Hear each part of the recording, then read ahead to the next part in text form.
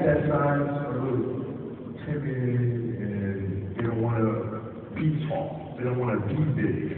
And this dude was, he did not care. He was mean. He was nasty. He was competitive. He was vindictive.